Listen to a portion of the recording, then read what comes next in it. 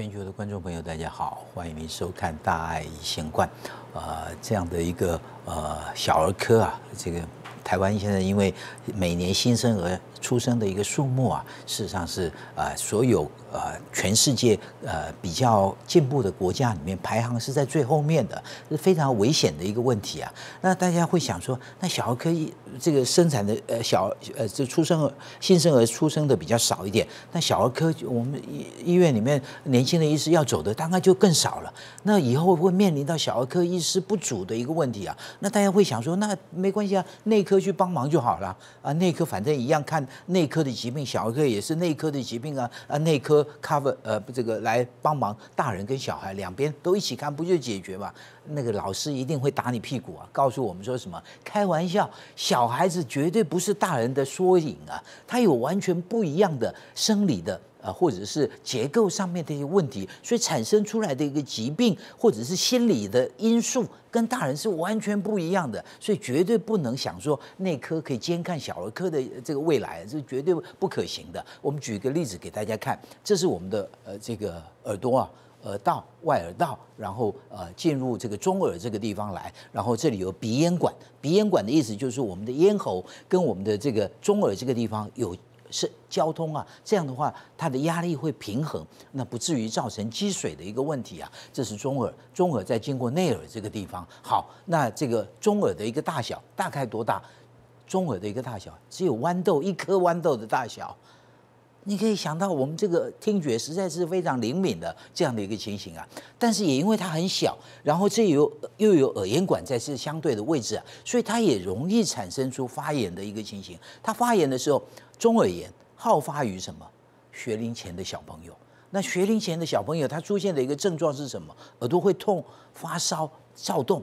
意思躁就不安的一个情形，烦躁不安，意思就是小朋友他有时候很难跟你表达怎么样的不舒服啊。那耳朵他就是在中耳，所以未必是外耳这个地方有一些什么样的，你拉扯一下会痛，他也未必啊。但是呃，很明显的，他焦躁不安，这个会很明显啊。那耳痛当然还是有可能会发生。那你说为什么小朋友比较容易？就就回复到刚刚我讲的，我们的一个结构在大人跟小孩。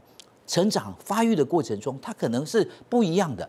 小朋友的一个阶段，你们我耳咽管跟这个中耳的一个位置啊，呃，还有它的一个功能，也就是它闭合张开的一个功能，没有像大人那么好。那所以它比较容易产生中耳的一个发炎，中耳的积水，中耳的发炎。那么中耳的发炎，如果又没有好好治疗的话，它后续产生出慢性中耳炎，或者是听力的一个影响，那会自身拮据啊，对它一个未来的一个发展会影响很大，所以这个都必须要。好好的，在一有状况的时候，好好给他治疗，尤其是发烧不明发烧的时候，小儿科的医师都会帮忙看一下耳朵。这背后的道理就是在看他中耳有没有发炎了。好，这个耳朵啊，对这个听力啊，啊，当然是最重要的一个地方嘛。那我们到这个，这是魏武营啊，呃，他的音乐厅里面啊，啊，我们去。呃，要去看他的，这听他的一个演奏会之前呢，呃，他们就先到那个地方，看到那个局部的这个场景啊，感受得到，其实一个呃社会的一个进步啊，呃，音乐厅啊是一个很好的指标啊。卖座如果很好，那就更好。那有这么好的一个空间，让大家可以聆听啊，那样古代的一个乐音啊是非常好的。呃，演奏很多像刚刚那样的大编制的，那个是交响乐，交响乐之父就是海顿，十八世纪。那么海顿呢？大家想说，这个也可能是啊，这个呃家学渊源，呃，所以啊，所以对这个音乐有兴趣啊。其实不是，他爸爸不是大家想象中这个也会拉小提琴啊，呃，这个呃音乐上也很有成就。他爸爸是修车匠。修车匠，但是因为一家人常常在那个地方一起唱歌，一起开心的那样的领受到音乐的美，所以他启发了他对音乐的兴趣啊。所以他不是呃遗传啊，好像说爸爸这方面有天分啊，不是。但是他有这个兴趣以后，他就开始对这些呃乐谱啊、音乐呃产生出那样的一个兴趣出来，然后开始进一步的钻研，然后就变成了这个影响世界啊这个非常重要的。起头的这样的一个音乐家，这样的一个呃，他这个呃去呃把这个呃音乐里面的一个呃乐音呢啊捕捉下来。那一开始的时候啊，当然有交响制交响曲的一个编制。那但是想说，如果都是交响曲的编制，一下要动员这么多人，那么也很麻烦。那是不是可以啊？哎，规模小一点。于是就有。这样的所谓的弦乐四重奏，弦乐四重奏就是有两把小提琴、一把中提琴、一把大提琴。那只有弦乐在这个地方，大家一样可以把那个乐音让大家感受的非常深刻啊。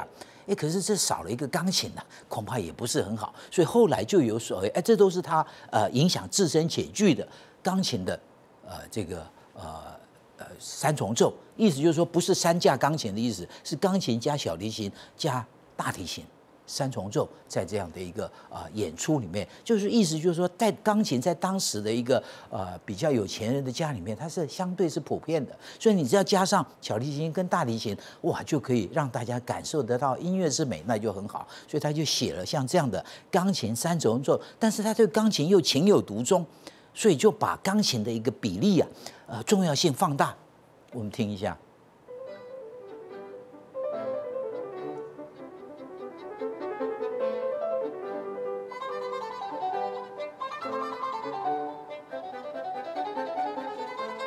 把那个虽然是三重奏，但是钢琴里面的这个成成分啊，给它加重。当然，其他的部分还是有呃小提琴跟大提琴的一个加入啊。但是整体的那种呃心情啊，开心的一个状况，感受很深啊。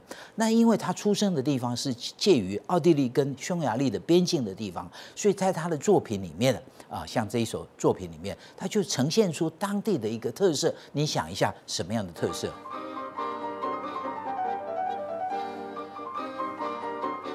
匈牙利的舞曲的特色，那听到这个音乐，你似乎脚也要跟着动起来的那样的一个感觉，非常快乐的一个气氛啊！匈牙利舞曲的那样的一个成分啊，也就是说，一个出生背景对他的影响很大，环境对他的影响很大，未必是直接，好像爸爸就是那样子，你肯定未来就是这样子，那种启蒙的影响。事实上是非常大的一个状况。我提到舞曲啊，这个呃有它的一个节奏感，那么节奏感很好。但是年龄大以后，我们的节奏感不要说跳舞，我们连走路的节奏感可能都不好。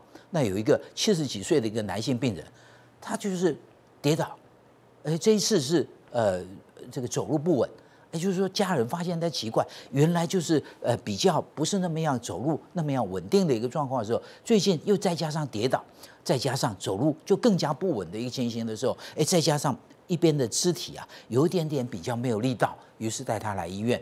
哎，医师一听啊，这个又要很小心了，呃，年龄大，再加上这样的一个神经学症状的时候，做一个电脑断层，大家可以看得到，这边是脑室黑黑的，这是脑室的部分，这里显然怪怪的。这看不是很清楚，但是隐约之间可以看得到，这边这里是有阴灰色的未接的一个呃出血的一个情形啊，在那样的位置啊，所以它会去影响到压迫到我们的一个大脑，所以呃造成它。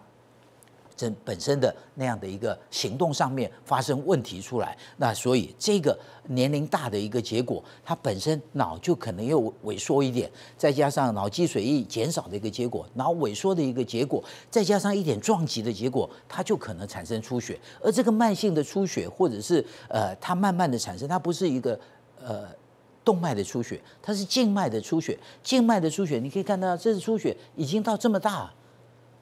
这个神志是是跟他原来没什么差别哦，这么恐怖啊！那当然，这个临床上这个医师啊，会赶快进一步去给他做治疗。这就是硬脑膜下的一个出血，硬脑膜下的一个出血。那因为他这个面积范围这么大的一个情形的时候，这还是要透过手术啊，把这个血液给他啊引流出来。但是你看伤口。